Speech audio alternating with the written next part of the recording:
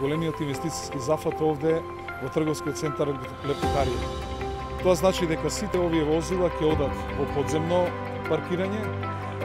од озгора ќе има еден прекрасен плоштад со најубавата фонтана во Република Македонија, а сите овие згради позади нас ќе добијат нови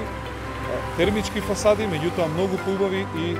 што значи дека овој дел ќе го ставиме на располагање на граѓаните да има едно големо шеталиште, цветни аранжмани, фонтана и се оно што е потребно.